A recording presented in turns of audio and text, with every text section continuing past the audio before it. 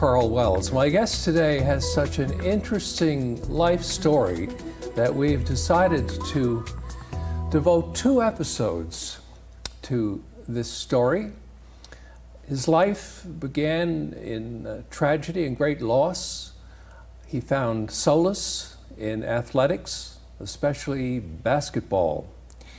And in fact, he went on to build a career for himself in the game of basketball. He's written it all down in a fascinating autobiography called Chasing a Dream. And it's my pleasure to welcome Carl English to the program. Welcome, Carl. Thank you. Thanks so much for having me. Um, I'd like to begin by talking about your parents. Yeah. You lost both of them same Mm-hmm. time in a, in a tragic house fire. Uh, tell me about your mom and dad, Lavinia and Kevin. For me, it's all vague memories. Um, certain things stand in my mind, things that people tell me. Uh, good people, hardworking. Uh, I was five at the time when we had the house fire. I, I remember the night before, which is strange. We, we came from town and we were after stopping and getting some some uh, cowboys and Indians stuff. So I remember having a bow and arrow and the fake cap guns and stuff like this. And that morning before it all happened, that's what we were, me and my brothers were doing. So um, yeah, f- as for them, I know what people tell me. Um, I, I would assume they're a mix of me and my brothers and the different personalities and then family members that they had. So a lot of that is, is, is vague to me. I just remember more so the incidents, what happened, and then afterwards. Now, you and your brothers were, were separated. Yes. Uh, you went to live with different relatives. Yeah. That must have been difficult. That was extremely difficult. Um, families tried to keep us together at the times, but in, in the, the late 80s, you know, these are fishing towns and villages, and taking five, five young boys is, is challenging. I know our aunt wanted to take us all to Boston, my dad's brother, but then the parish uh, priests and people just didn't feel it was correct to remove us from our surrounding areas. So we, we got separated. Um, three brothers, Kevin, Peter and Michael went to live with Aunt Florence in Angels Cove. I went to live with my mom's sister, Aunt Betty, which was 10 minutes away, if that, um, in Patrick's Cove. Um, and then Bradley went to live with my other mom's sister, Aunt Shirley, in Emmanuel's in, in town. So you were essentially raised by your Aunt Betty and your Uncle Junior. Yes. Tell me about them. Again, fishing, fishing family. Uh, me and my Uncle Junior were extremely close. Um, he had a stroke in late 80s as well, so his left side of his body was messed up, so I always used to be like his hands, especially as I got older. Um, his sons and daughters would move, move away for work, so then I started fishing and doing a lot of the chores at an early age. Um, growing up around the bays is a little bit different. Not a little bit, a lot different. You kind of do everything for yourself. Um, the community, if you have a leaky roof, well, you people in the community help you fix it. If you have a problem with the car, you try to fix it. So we kind of fended and did everything for ourselves, from cutting wood to hunting moose, rabbits, ducks, everything. So it was, it was always funny. I, I joked about what we ate at the time as, oh, I can't have moose again today, or having ducks today, or lobster, like all the things now that are, you know, you pay top delicacy, right? Or then when I started training at high levels, they're like, oh, if you can get moose, and I I said, get moose, I gotta, you know, you got a quarter and a defreeze. So, you know, it was different, but at the time when you're a kid, you're like, oh, not moose and potatoes again. But that's what we lived on. You live off the land and you survive that way. So, um, normal fishing family from, from that part of time. Um, you have everything you need, but you don't have the extras. But it teaches you a lot of hard work and, and discipline. And they gave me a roof, roof over my head and gave me the support I needed to, you know, to be successful. Now, outs- outside of uh, the, the home, Yeah. uh, I guess your mentor was your gym teacher. Yes. That would be Gord Pike. Yes. Tell me about uh, about why he was so influential, or why he was such a good mentor. I, I, I think a lot of times that people don't understand uh, the role of a good teacher, you know, because they're, they're with your child, or in my case, with you, you know, nearly all day. Um, I was in a troubled time that you didn't I didn't realize as I don't really think I always put that part of my past, the fire and losing my parents behind me, and I kind of just blocked it out. And in the late '80s, early '90s, people don't talk about their feelings. You know what I mean? It wasn't no. something that we did, right? So everybody, no one asked you how you're doing. They just figured you were doing okay. Um, I found my love in sport, in basketball, and Gord was was my gym teacher. And something as simple as our school, the elementary school finished 15 minutes earlier than high school, so we'd have to wait for the buses. So every day we would shoot in the gym, and he'd be finished if the class was available. So we just shooting horse and different things and developed a bond. Then he coached me right up through. So not only coaching but guiding. So taught me biology. He was my teacher, gym teacher, and then in the higher classes, and then my coach. So now when you're playing, so not only are you with this person all day, now you're with him for practice, now you're on trips together, now he's teaching you and mentoring, always, he always just tell me be hungry and humble, no matter what it was. And I, vivid, vivid things that he would do and little things that he would do that resonate right through my career. Like, uh, for instance, the last game I played in Newfoundland before I came back was our provincials. Um, I think I scored 65 points. Uh, but he gave the MVP to someone else. You know what I mean? Mm-hmm. Because that guy was grade 12 and I was younger, and he felt he deserved it. You know, just always motivating, always. In, in that same tournament, I remember I dunked on a guy and I got a technical foul. You know, mm-hmm. but the whole place, like when I played back then, it was it was the game to see. So I got a technical foul and he got upset, so he benched me and then he took me out of the free throw competition. So he was always teaching me to stay even course, to stay on, you know what I mean, stay focused, stay humble, and don't let the nonsense yeah. get in the way. So yeah. we developed a great bond till this day. You know, when I came back to make decisions of coming back home, he was influential in that. He still comes in and, and helps out with some of the coaching stuff I'm doing at the academy. So we created a bond that will, it's unbroken. Mm. Yeah. Tell me about the homemade basketball oh. net on the highway yeah. in Patrick's Cove yeah. and, and the various versions of it. The, that was trial and error. So it's, it's very funny because we were out home this past weekend in St. Bride's and we were up on the old hoop up across from the school and the back of it was rusted out. So me and my son were shooting and the rim went right down, broken. So he was out there and we were out there for a few days for a long weekend and he was bored. So it was, he, he ended up cutting the bottom out of a bucket. I was like, cut the bottom out of a bucket. I was like, that's what I started on. And then him and his pop nailed it to a piece of two by six and put it on the shed. And that's essentially was our first basket, was, a, was the bottom of a bucket. Then we upgraded to a bicycle wheel, right? But all these things were flimsy. Then where it really started to go was, I remember for one Christmas, I asked for a basketball hoop. So I got the hoop and we ended up putting it out in the, in the driveway, but it was all rock. So I'll tell you some stories, but they're all in the book anyway. Mm. But to make this surface flat, I went and I took the pieces of the old pavement. So you see them in the thing. Now, some of them I might have chipped off, some I might have took a little bit extra that wasn't there. but we got a drum then, and we lit a fire, and we, we heated up the asphalt to melt it, and then we tried to put it back down to make a flat surface. So the things, the things I used to do just to try to create this court it's, it's, funny, but when we come to St. John's or we saw come to town, and I'd see these people's basketball courts, and I was just thinking they were the luckiest people in the world. Mm. You got to understand my upbringing of where I came mm. from. You know what I mean? And when I saw that, I was like, man, these kids are so lucky, and no one on them ever playing. And I was just, that's all I was trying to build there. So then. I convinced my aunt to let me build something and put it down on the on the road. So that was the main street in and out. So that was trial and error, but we did, the one that actually stuck and worked was we got two six by six cut at the, at the sawmill. Mm. We put some fishing line in the middle because the ball kept going up and down the bank. There was a big drop about 50 feet on this side. And we put some fish tubs, filled them up with rocks, so we made our base, a couple of braces on it the rim that I had on that was given to me from Gord from the school, mm. and then we just had a piece of plywood. And then to keep that on the back, I ended up taking a stop sign. I took the stop sign to make the connection in between so it wouldn't pull through through the wood. But that was the one that stood the test of time, and that's where I, I played hours upon hours upon hours.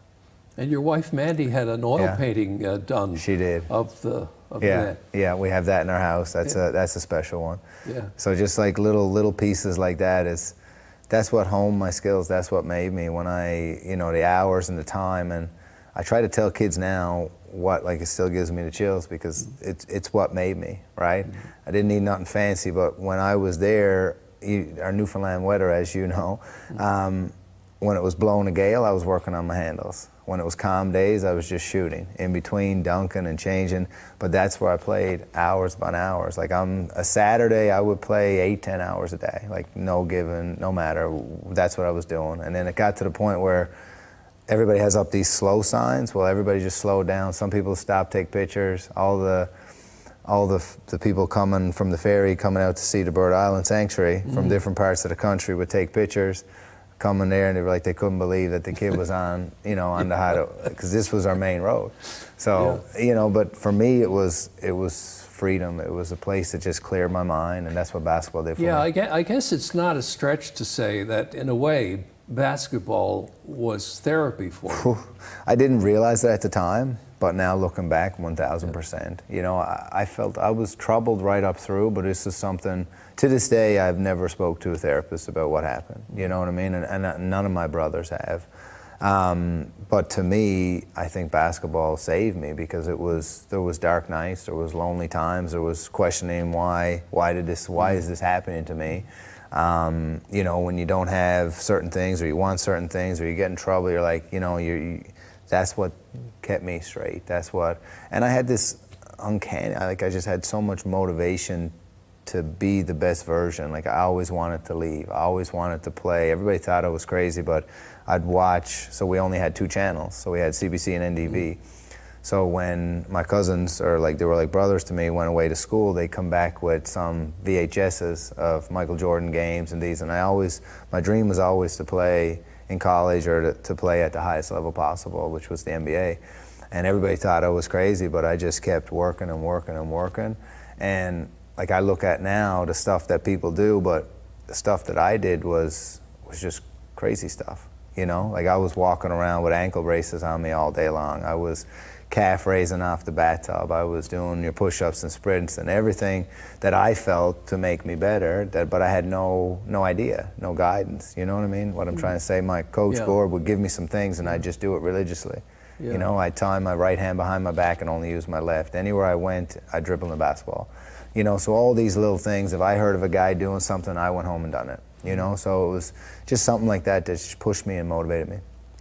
Did you ever have any doubts? Did anybody ever say to you, Carl, you know, you're crazy if you, if you yeah. think that you're going to be in the NBA? Or, you know, or whatever. Yeah, there, there was there, there, was lots of doubts. Everybody, yeah. you know, Newfoundlanders, if someone's yeah. coming out of the pot, they're pushing them right back in. So um, there was doubts. My co- some coaches that I had on Newfoundland teams and things, they doubted me. Different people, you know, a lot of people didn't understand. You know, and there was times there's doubt there, but I never really doubted myself. Mm-hmm. You know, and I just had this vision, and I was I, I was doing it, and that was it. Yeah, uh, well, it's all about attitude, I guess, yeah. and belief in yourself. Belief in yourself, self belief. If I don't believe in myself, how can you believe in me? Yeah.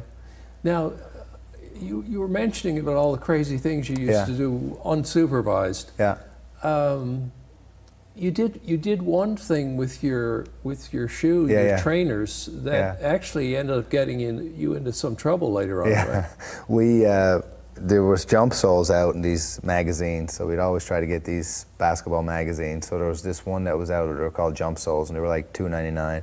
So what I did was I cut up some old shoes and I actually glued and, and nailed them together, and then I taped them onto the bottom of my sneakers, and I would try to do what these people were simulating in the magazines. So basically, all it was was you know you're straightening your calves and doing these plyometric programs, which I had no idea uh, I think personally, all these stupid things I was doing just just killed my ankles. You know, because you're you're doing things that you probably shouldn't be doing. It's not normal for your body. But you know, it was part of me getting better. It was part of me jumping. At the end of the day, I can't say it worked or it didn't. But when I was young, I could fly, so something mm-hmm. worked. Um, when you were 16, yeah. you you uh, played in, in the Canada games yep. in Brandon, Manitoba. Yeah. Uh, that must have been quite an experience. Was that the first time you'd been off the island? Uh, I went off the island. I went to New Brunswick or PEI with Team Newfoundland at under 15s. Um, that was my first time. And then I skipped U17 and played for the Canada Games team. At that time was U19, and I was in grade 10, the summer of grade 10, going grade 11. So I was the youngest guy, one of the youngest guys at Canada Games. Um, famous coach here locally, Clarence Sutton, um, mm-hmm. went out on a limb for me. Uh, Glenn Normore as well was the head coach. Mm-hmm. So ultimately, I started off at the bottom and had to get permission to play with all the memorial guys and different things. My aunt was super strict on these things and protective. Um, ultimately, I was I made the team, and by the end of it, I was playing heavy minutes, and I started a couple of games. So for me, it was an eye opener of what was out there. But again, when I came back that grade 11 year before I left, I was playing against university players and I was just above where I should have been, or where you know just played with a with a recklessness and, and abandon, and just played really strong. Mm-hmm. Um, you're probably the you're probably the only person uh, to play professional basketball who is also an expert at cutting the tongues out of codfish. yeah, well, that just became way of life. Tell right? us how you became so expert. Well, you, you, grow up fishing, so you learn everything. I'm, I'm the type of guy that if you're doing something there, I'm very intrigued on how you're doing it. I'm always trying to learn. So um, when we were fishing, you know, you had to cut out tongues, but I cut out tongues for another reason. It was to save up. Typically, you'd save up and raise money to buy your shoes and school clothes. So if it was picking bake apples or cutting out tongues, picking up beer bottles, like these are things that back in, like I said, in late 80s, early 90s, that were just normal to do. Like everybody did it, you know. So for me, yeah, I'm, I'm pretty good at cutting out tongues. I'm getting good at filling now, but I haven't had a lot of practice. um, rural Newfoundland. Yeah. Re- really is, um, you know, special. Yeah. Uh, in many ways, but for you in particular, I think you'd consider yourself to be a rural definitely person. Yeah. why, why is it? Why is that life so uh, resonant? For me, it's the backbone of our province. You know, I mean, obviously the town and city, St. John's and surrounding have everything they need to offer, but when you grow up in rural Newfoundland, you learn life is from a different lens. You look at it from, from different, especially back then. Things have changed now, you know what I mean, the access. But for us, for us to get to St. John's when I was in grade five or six was, was a luxury. You know what I mean? Like, oh, we're going to get to go to McDonald's. Oh, we're going to, you know what I mean? You'd plan each year, I think in grade six on, we'd take a class trip. Mm. And it was just to go to St. John's, go to the mall. You know what I mean? That was like a big deal back then. So I, I think when you grow up, you have the appreciation, A, for the land, mm. um, the hardship, you learn how to deal you know, the things that I grew up doing, I'd love for my son to be doing. It's mm-hmm. going to make you a better person. It's going to make you a better man. It's going to make you mm. stronger. Mm-hmm. Um, so these type of things that are inbred with you as you grow up around a bay, it just becomes normal. You know mm-hmm. what I mean? Now the things, the problem now I feel with the bay communities is now they're missing out because the schools are so small. Like Fatima only has 32 kids. When I was there, it was 220, and then worked its way down. So they don't even have enough for a team or sports. So now it becomes to the point where now you're kind of losing out. So yes, it's great to grow up around the bay, but now you're losing out on the team aspects and all these things that that can bring you. So, but when we grew up there, you know, you had all the best. You had pride for where you came from. You know what I mean? And you, you had that edge and you had that fight. And when you came in to play the town private, uh, schools and things, you came in with that fire and you had some pride. You, had, you were proud of when you where you represented it. When we won a tournament, there'd be 50 to 100 cars meet us and there's a motorcade. You know what I mean? And there was a celebration and you had these people follow us. Like when we played up in Bay de Verde for provincials, they came with six busloads of people. You know what I mean? So they mm-hmm. followed you. You were spe- inside that community. You were special. You know what I mean? And now take it further for someone like myself, or what we went through well, that type of town can nourish your development and they can get behind you and they can help you deal with it because everybody knows what happened to you and they're, they're trying to be more thoughtful and more caring of what's going on. Whereas if you're in a bigger town, a bigger city, you're just a number. Mm. So that, that's how I view it. Mm. Um, when you finished grade 11, you yeah. moved to Ontario yeah. to go to school, and this was because you wanted to get a, a college basketball scholarship. Yeah. Um, that, uh, that time you spent in Ontario didn't quite. No. It was a little bit rockier than you thought it would be, right? Definitely. Yeah. So the reason I I wanted to get recruited. So um, one time they sent in. Uh, there was a player that there was two kids that went to uh, from Mount Pearl to the states. Um, one of them came back and were, were watching me play, and I scored 40 something points, but nothing ever came out of it. Always going to tell his college coach about me, but nothing ever came out it. It's just stories in the newspaper. Mm-hmm. So there was a flyer came out from Newfoundland basketball, and they were, you know, they were they were looking at that type of pathway for kids going to the states or getting a college scholarship. And one of the kids on it was Andre Sola, and he went to George Washington, and he went from a school called St. Thomas Aquinas in Oakville. And I just told my aunt, I was like, I'm going, I want to go there. You know what I mean? I kept at her, kept at her. I said, I'm going. Like, you can't, I'm going. So I fished that summer to raise up money. And then I went up with her, her son, Howie, was like a brother to me. And I lived with them because he was right on the border to go to this school. So then when I got up there, I worked with him for three weeks. He was frame and carpenter up there. So then I worked with him to get more money to pay for the school and things. So um, I went to St. Thomas Aquinas, big shock think 3,500 students in the mm. school, uh, uniform, full full uniform, uh, which was good and bad. I mean, you don't get to express yourself, but then very you know, British, very British. so as uh, for kids that can't afford the clothing, it's fine because now everybody's the same. So it's good and bad. Um, so that was that was a, sh- a, shock. The size of classes and the things they were doing was a shock. Um, but I just went there for basketball. So that was my soul. I was a good student.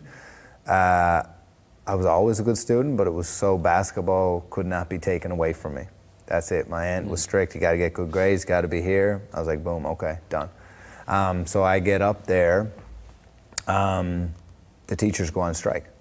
So I'm like, okay, so like St. Thomas Aquinas is here, and then it was P, PMC or something was across the street, a public school, and they were going to classes, but the Catholic schools were on strike. So I'm like, what the hell am I doing here? You know, I came all this way. I'm away from my wife, at, was my girlfriend at the time, and then my brothers, my family, everything. And I'm here to go to school, so I start training. But I met, uh, they had a weight room, and that instructor knew a guy, and then I got in contact with him. So I went and played with uh, in this tournament, a highly ranked tournament. I played with Westwood Academy, so I was the only white guy. I played with Westwood Academy. So the first game I scored 30 something points. Next game I didn't get a pass they were like, "Who's this guy? Shit, that, boom, boom, boom." You know, ain't no no time for that. Mm-hmm. So I still played well, and from that tournament, I was getting some notice. So there was Syracuse, and these people were there. So I was getting some some some people were watching me and things like that, but they couldn't come see me play, right? So I, I took it a step further. I went and got a buddy of mine. So in this school, they had a video room.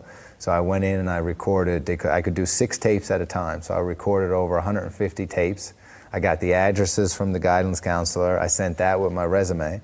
My resume had on like dumb stuff that happened here in Newfoundland, like dunk champion and you know what I mean, in the Wendy's Classic, things that they'd have no no business understanding. And I put on some videos of just me in the gym doing this stuff, and then at the end of it, I put on a game of Fatima in that grade 11 championship. Mm. So I sent this to X number of schools, like 150 for lease. I, I, found it when we were moving, and I found all the lists of the schools and me taking them off, and, and what I sent out. The, the it was like a trip down memory lane. The resume was the hilarious part of it. So anyway, that's what I did to get recruited. But then all these letters were coming in. We want to see you play. We want to see you play, but they couldn't see me play. Mm-hmm. So that kind of that kind of killed it. They were following my progress. So then I wasn't at the time, so there's there's big 80s, ABCDs, Adidas camp, then there was Nike camp, and I went to another one in the same area, Atlantic Cape camps. So we got in this cube van and we drove down, seven or eight of us, with that coach that I met. And I went to that camp and I was MVP. So in that championship game, all these scouts came over from ABC and Nike, and after that, I had about 30 scholarship offers. So I was supposed, Syracuse were putting me in a prep school and they were late on the paperwork. I was after visiting the, the school, so the prep school would have gave me another year to develop, and then I probably have offers from wherever.